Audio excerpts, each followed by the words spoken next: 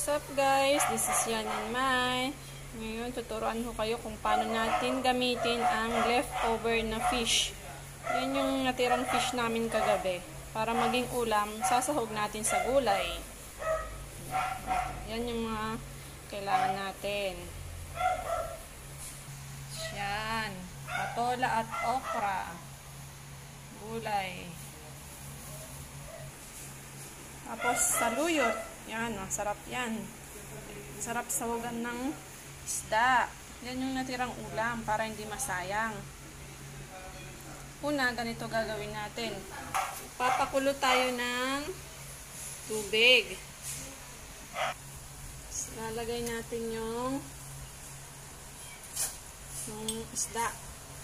Tapos yung mga condiments natin na ano, kamatis, luya at sibuyas.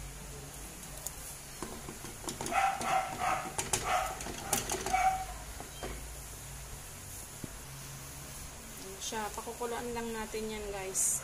Mamaya ihuhulog natin yung mga gulay. Yan, kumukulo na siya. Lalagyan natin siya ng patis para may lasa, pampalasa. Lagyan natin siyang patis.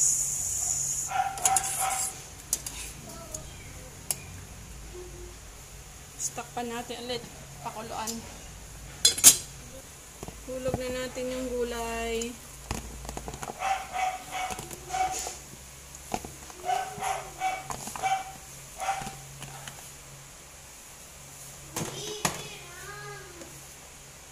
Yung saluyot.